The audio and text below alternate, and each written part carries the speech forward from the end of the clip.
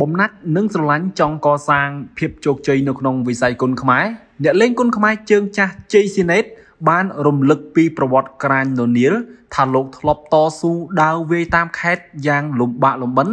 ដោយទទួលបានតម្លៃខ្លួនតិចតួចបំផុតមួយប្រកួត5000រៀលក៏មានលោកបានរំលឹកថាបានចាប់ផ្ដើមប្រឡូកវិស័យគុនខ្មែរ នៅអំឡុងឆ្នាំ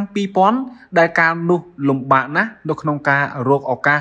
ឡើងសង្វៀនត្បិតមានការប្រកួតតិចតួចបំផុតដូច្នេះហើយដើម្បីដុសខាត់គេឈ្មោះនិងសមត្ថភាពកីឡាករថ្មីថ្មីរួមទាំងលោកផងត្រូវពុះពៀការព្យាយាមគ្រប់បែបយ៉ាង ដើម្បីស្វែងរកឱកាសឡើងវាយលើសង្វៀនទូរទស្សន៍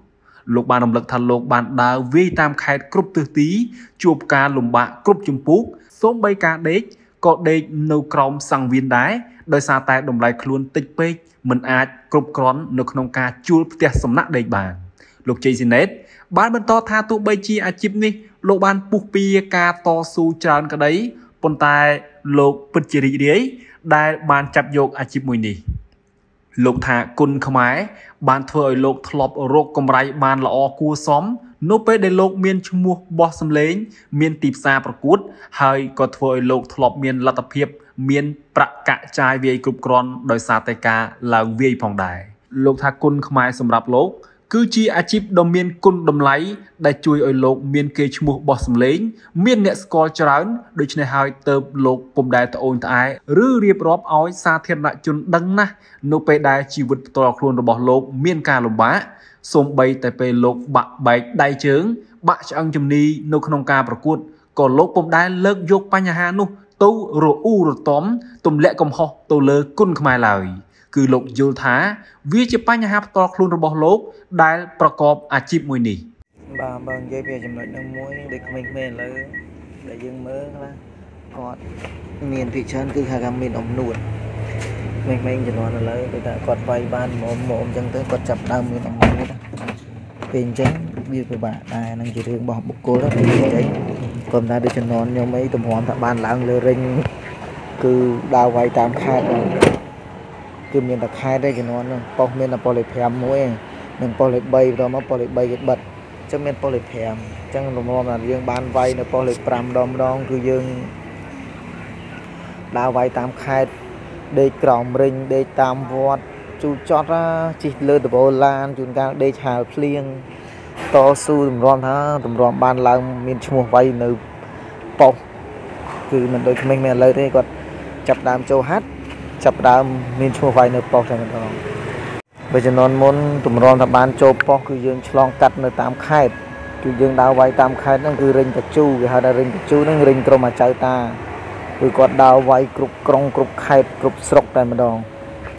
អញ្ចឹងយើងដើរប្រឡូកនៅតាមរិញគាត់ហ្នឹងបានតម្លៃខ្លួន20000 30000 5000កន្លែងខ្លះក៏អត់តម្លៃខ្លួនទៀតដើម្បីតែចង់បានវាយចង់បានដឹងសមត្ថភាព ចង់ដឹងថាខ្លួនយើងវាយមិនអីមិននេះពេលគេលក់សបុតបានច្រើនបានក្អីច្រើនហើយយើងបានលុយគួសមអញ្ចឹងទៅហើយដូចខ្ញុំខ្ញុំតាំងចិត្តខ្លួនឯងថាដូចជាកាលដែលខ្ញុំនៅចាំដូចយើងទៅវាយដូចជាសល់ក៏ទៅវាយឬមួយក៏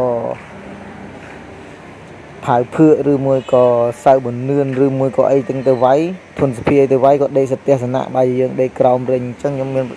ការតាំងចិត្តខ្លួនឯងហ្នឹងអញនឹងធ្វើឲ្យបានដូចពួកគាត់អញ្ចឹងណាទស្សនៈឯងដេកក្រោមរិញដេកតាមវត្តអញ្ចឹងមានការឈឺចាប់តស៊ូខំប្រឹងពុះពៀទំហំថាមានឈ្មោះចាប់បានវាយនៅប៉ុស្ម្ដងម្ដងគឺបដោផ្ដាច់គឺគេហៅថាសឹងថាស៊ីសាច់ផុតឈាមណាវាយហើយមិត្តភាពធម្មតាតែពេលវាយគឺដឹងថាបដោផ្ដាច់ពេលឥឡូវដូចខ្ញុំនេះពេលដែលខ្ញុំ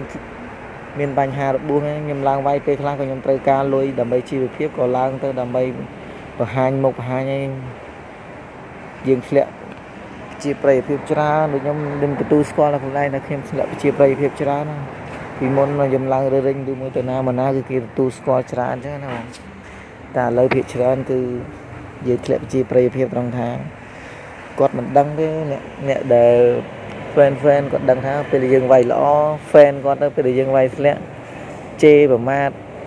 មើងងាយវាតែប៉ុណ្្នឹងតែព្រោះខ្ញុំប្រឡូកក្នុងវិស័យហ្នឹងវា20ឆ្នាំខ្ញុំយល់ថាពពេលដែលយើងនៅមានសមត្ថភាពពេលដែលយើងនៅវាយល្អប្អូនអញកូនចៅអញចេះចុះតាហ្នឹងវាជាមេរៀនព្រោះអ្វីក៏ដោយពាក្យកន្លោះកន្លោះនោះវាជាមេរៀនធ្វើឲ្យយើងយល់ពេលដែលយើងនៅមានសមត្ថភាពចឹងទៅយើងវាមិនសូវវាបានយកចិត្តទុកដាក់ ទិញរបស់របរទុកគ្រាន់តែពីជាកេណាពេលដែលយើងអស់សមត្ថភាពពេលយើងអសមត្ថភាពទើបយើងស្ដាយក្រោយចឹងដូចក្មេងៗជំនាន់ឥឡូវគាត់មានឱកាសគាត់គេផ្ដល់ឱកាសឲ្យគាត់ចឹងសុំផ្ដាំទៅឲ្យគាត់នឹងចេះដែលថាថែរក្សាចេះទុកចេះដាក់ព្រោះយើងនៅវ័យរលុយបានយើងទិញរបស់របរទុកទៅដូចជា អាហ្នឹងគាត់អាចជាការផ្ដាំផ្ញើឬពួកខ្ញុំវាវ័យមានអីសល់អីទេគ្មានសល់ធ្នេនៅលើមុខសល់ស្លាកស្នាមនៅលើខ្លួនតែប៉ុណ្្នឹងទេដូចខ្ញុំនិយាយរំលឹកពីរឿងខ្លួនឯងតិចហ្នឹងពីមុនធ្លាប់ទៅឡើងវាយឲ្យតែគេថាមិនថាកលាករណាណាតែថាប៉ះជ័យសណេតគឺដឹងថាត្រៀមខ្លួនគឺល្អមើលជុះអាចឈរបដោផ្ដាច់តែឥឡូវគេថាប៉ះជ័យសណេតស៊ីស្រួលហ្នឹងវាតែប៉ុណ្្នឹងតែធ្វើម៉េចយើងក៏ ខ្មាស់ខ្លួនឯងដែរតែពេលខ្លះទៅយើងខ្មាស់ខ្លួនឯងវាធ្វើឲ្យកាពះរបស់យើងវាធ្វើឲ្យគេហៅថា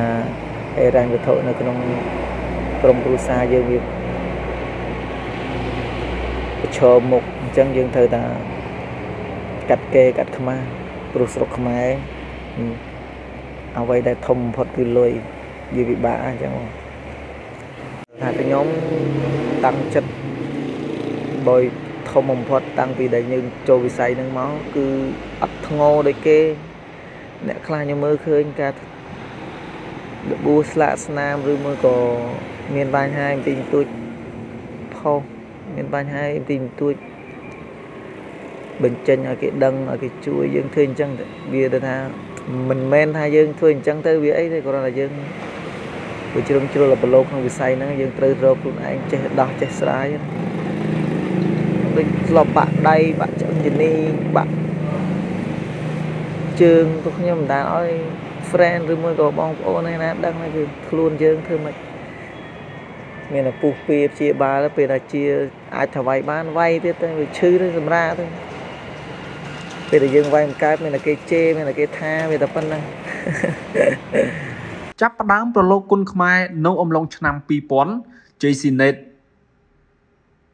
មកដល់ពេលបច្ចុប្បន្ននេះលោកបានផ្អាកពីការឡើងសង្វៀនទាំងស្រុងរយៈពេលជាង1ឆ្នាំមកហើយដោយសារតែវ័យរបស់លោកកាន់តែច្រើនកាយសម្បទាដែលធ្លាប់បាក់បែកក៏មិនអាចធន់ទ្រាំនឹងការប្រកួតបានល្អរួមផ្សំនឹងការខ្វះខាតពេលវេលាវឹកហាត់ដោយសារតែរវល់និងកិច្ចការងារចិញ្ចឹមជីវិតផងនោះ